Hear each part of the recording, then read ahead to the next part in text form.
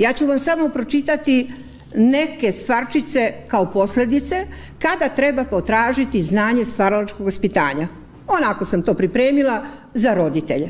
Pa kaže, ako je vaše dete lenjo i neposlušno, ajde nađite mi dete koje kad vi kažete sine donesi da on kaže da, uvijek kaže ne. Ako neprestano traži da mu nešto kupujete, kupi, kupi, kupi i tako dalje. Ako je emocionalno preosetljivo, plaću za svašta. Više ne A zašto plaću? Uznemirenost su.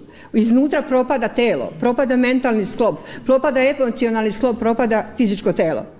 Ako je zahtevalo kućnog ljubimca, a sada vi vodite brigu o njemu. Ne znam kako je ovdje vam, kod vas sa kučićima i mačićima, kod nas u Beogradu svi poludeše za tim. Svako dete kupi mu se kuće ili mače, onda mama mora da vodi računa o tome. Pa gdje je tu odgovornost? Zašto smo to onda uradili?